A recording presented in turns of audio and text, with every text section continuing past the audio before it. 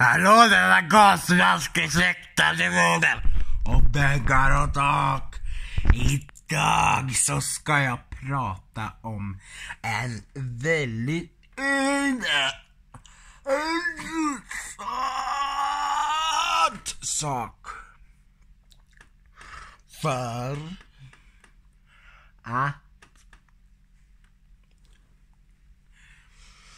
Det finns faktiskt en video som jag gjorde som heter Kvinna som dog och kom tillbaka.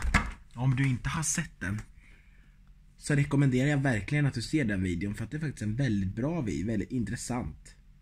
Titta på den videon nu. Den är riktigt, riktigt intressant. Jag lovar, jag rekommenderar verkligen att du tittar på den.